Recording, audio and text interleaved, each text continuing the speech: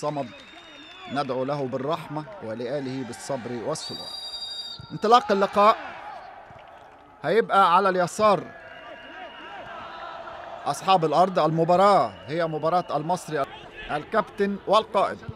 أمامية من سطوحي. بالصدفة وصلت إلى زولا انطلاقة من زولا يمشي يمشي والمساحة موجودة لكن العرضية مش موجودة ومش دقيقة على الإطلاق من أحمد عبد الرحمن زولا استغلال المساحات. لكن سايبه معاه عبد الحميد بسيوني كورقة على الدكة. مروان حمدي يضغط ويقطع ويروح في اتجاه المرمى لكن لمح لمح. خالد سطوحي جاي. يعني شوف مروان قطع ضغط بشكل رائع ضغط بشكل رائع الكرة من كاماتشو. لكن مع رجوع مع رجوع علي حمدي وضغطه عليه فقلق مروان حمدي. فاضطر إن هو يستعمل كرة عرضية كانت ممكن تبقى خطيرة. اتقطعت تحولت وبقت هجمة مرتدة المرة دي خطيرة. 3 على 3 3 على 3 يسري وحيد يمشي يمشي ويدخل جوه المنطقة ويسدد تخبط ومرة تاني متعب. يشوط ويجرب من بره منطقة الجزاء المرة دي بيمينه متعب جات له على اليمين قال لك يلا زي ما تيجي.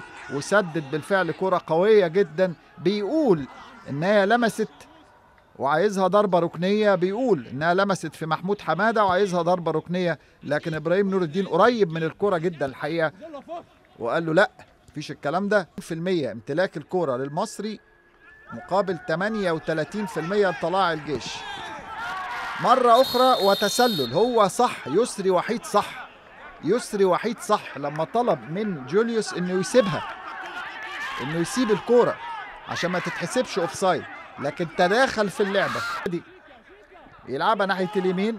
تمريرة روعة لسمير فكري في الجانب الأيمن. سمير يلفها عالية والرأسية ويكمل فيها. حسين السيد ولسه خطيرة. يقع حسين اللعب يستمر تسديدة قوية جدا. وخالد سطوحي بفدائية كبيرة يحط جسمه وراسه في اتجاه قذيفة محمود حماد خالد سطوحي.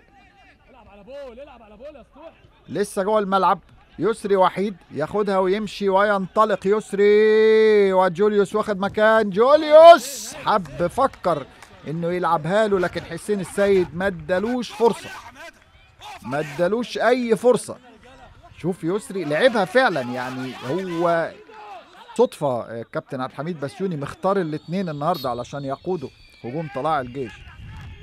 لا لأن هم زي ما بقول لكم بيكملوا بعض لكن في تفاهم محتاجين شوية تفاهم وشوية انسجام. أدي رأسية تاني من يسري وحيد. خرج عصام ثروت والمرمى كان فاضي يقابلها ويلمسها يسري لكن تعدي جنب القائم وتبقى ضربة مرمى. تبقى ضربة مرمى للنادي المصري. ادي الكورة أهو خرج عصام وكان مكمل يسري. وكان في الضربة الحرة للنادي المصري ومحاولات لتسجيل هدف التقدم قبل الشوط ما يخلص. فخر الدين بن يوسف أفسدها على حسين السيد. لو سابها لحسين لكن هو واخد القرار ومش عارف ومش شايفه. لكن شوف فخر بقى لو سابها لو سابها لحسين السيد كان جاي ومندفع ومنطلق ومفيش اوفسايد ولا أي شيء.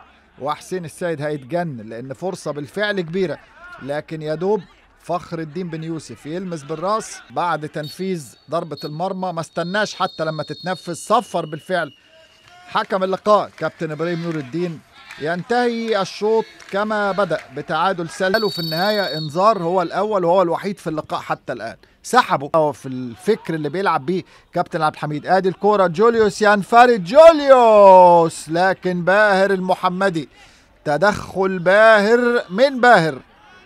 باهر المحمدي يتدخل ويمنع بول جوليوس في اللحظة الأخيرة. شوف باهر المحمدي رمى نفسه في اتجاه محاولة وتسديدة النيجيري ومنع الكورة. كان عصام ثروت كان رايح صحيح ومتقدم و... إلياس جلاسي مروان حمدي استلام من مروان في الجانب الأيمن.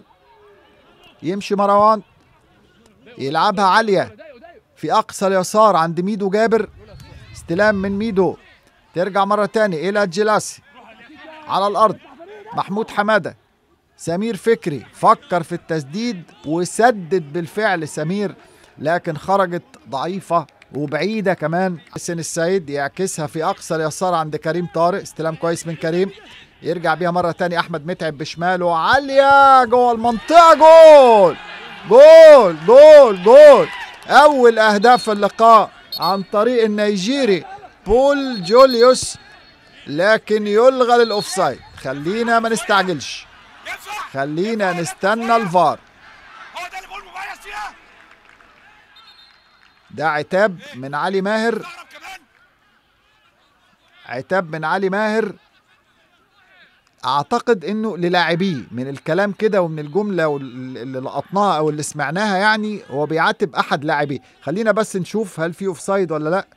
والله كورة دقيقة جدا وشائك وشائكة جدا. يعني أحمد نوفل رفع رأيته وكان الله في عونه لأن فعلا الكورة صعبة جدا جدا. اللي هيحسم هو الفار. اللي هيحسم الفار. فخر الدين بن يوسف. ضاعت الكرة منه. أحمد متعب يلعبها عالية جوه المنطقة. عبد الرحمن أسامة يلعبها ومطالبة بلمسة يد لكن بذكاء الحقيقة باهر المحمدي حاطط إيده ورا ظهره ومانع أي شبهة. وبالفعل الكرة خبطت في بطن باهر ومن قوتها أصيب. اتمنى له السلامة إن شاء الله ويقوم باهر ويكمل. المرة الثانية باهر المحمدي بذكاء بذكاء الحقيقة بذكاء باهر. يتصدى لتسديدة عبد الرحمن أسامة. شيكا. إيزي إيميكا. سمير فكري. تتلعب ناحية الشمال لمحمد الشامي. يمشي الشامي يمشي الشامي لكن تمريرته تتقطع ترجع الكرة ومرة تاني الشامي جوه المنطقة. جول! الروج يحلها. الروج يفتتح التسجيل. بعد هجمة بدأها محمد الشامي وأنهاها فخر الدين بن يوسف بشماله في شباك محمد شعبان. يكسر صمود طلائع الجيش على مدار 72 دقيقة في هذه المباراة وأخيرا يجد الشباك بعد محاولات وبعد نزول محمد الشامي كبديل يساهم ويساعد في التسجيل. شوف الهجمة اللي بدأها الشامي آدي واحدة وادي التانية التالتة جول. ادي مفيش اوفسايد محمد الشامي في تالت واحدة مفيش تسلل. يصنع محمد الشامي ويسجل الروج ويسجل فخر الدين بن يوسف في شباك طلائع الجيش. في الدقيقة 72 فخر الدين بن يوسف النجم التونسي الكبير يتقدم ويسجل أول أهداف. نور الدين إن الكرة مش من مكانها اللي مالكش دعوة. ارجع. ابني وقف في حتك مالكش دعوة بمكان التنفيذ. متعب. تتلعب عالية جوه المنطقة. كماتش يقع على الأرض لكن اللعب يستمر. تاني الكورة وسطوحي. لكن يطير عصام ثروت وتسلل على خالد سطوحي. مش لازم تتحرك يا خالد. بيقول له أنا ما اتحركتش بس يعني أنت متداخل في اللعبة يعني. وبعدين اتحركت أصلا كمان.